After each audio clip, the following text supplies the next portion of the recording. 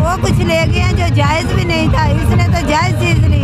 उसकी चीज़ है वो बेची है वो रखे लेकिन उसने तो शाहाना रोड बनाई है शरीफ का बदला लूँगी। अच्छा। वो मेरे पे कर्ज भी है और मेरा फ़र्ज़ भी है।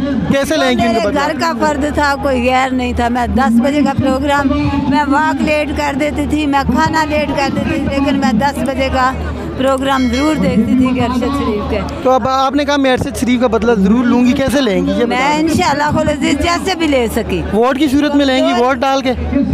इमरान खान को वोट डाल के? मैं कहती हूँ मैं जैसे भी ले सकी ये मैं अपने आप एक कर्ज समझती हूँ। चलें जी आंटी ने कहा है कि मैं इमरान खान का बदला ज़रूर लूँगी और। सॉरी अरशद शरीफ का। बदला ज़रूर लूँगी जैसे भी लूँगी इसको मैं अपना कर समझती हूँ। उसके सामने खड़ी होकर कहूँगी कि अरशद शरीफ मैं तेरे लिए खड़ी थी। मैं तेरा बदला लेके आई हूँ।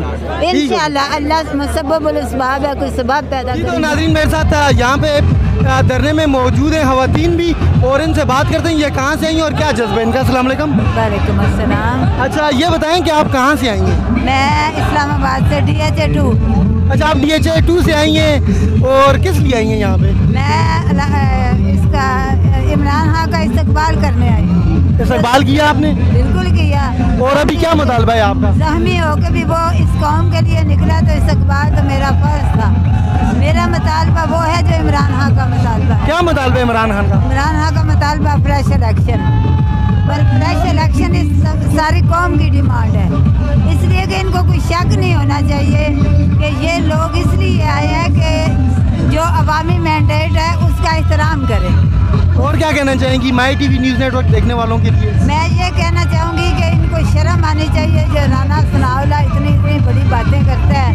कभी कहता है कि 400 लोग थे 500 अब ये देख लें ये कितने लोग हैं और ये क्यों आए हैं? काफ़ी बड़ी तादाद है। इतनी बड़ी है और आप जब तक ये कहेंगे इमरान आप चाहती हैं इमरान खान दोबारा वजी अजम बन जाए? इंशाल्लाह वो बनेगा अच्छा चार सालों में इमरान खान ने क्या डिलीवर किया है? इमरान खान है कोई शक है? इमरान खान ने तो लंगर खाने उसने खोले। शेल्टर होम उसने बनाए। हेल्थ कार्ड उसने दिया। किसान पैकेज उसने दिया।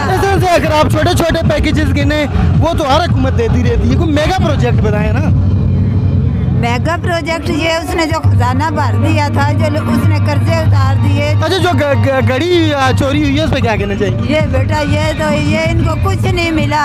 इन्होंने वो जो जायज़ तरीके से चीज़ लिया ये इन्होंने इशू बना दिया अच्छा जो घड़ी इन्होंने लेके बेची आप क्या कहती हैं ये सही किया देखे उसने कोई खुद नहीं ली। उसने हमारा मुल्क इतना गरीब है कि वो इस अ, मुतहमल नहीं हो सकता कि हम करोड़ों की चीज़ें जो है वो तो शहाना में रखें। लेकिन वो लेके बेचना अपने जेब में पैसे डालना भी तो सही नहीं है ना। नहीं जेब में नहीं डाले वो तो कहता है तो शहाना रोड बनी है। तो वो तो वक्त हाजिर सर्विस वजी अजम थे वो तो रोड सरकारी अखराज पे भी बना सकते थे।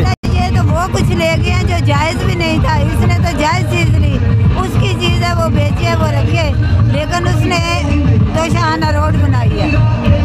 बहुत शुक्रिया जी।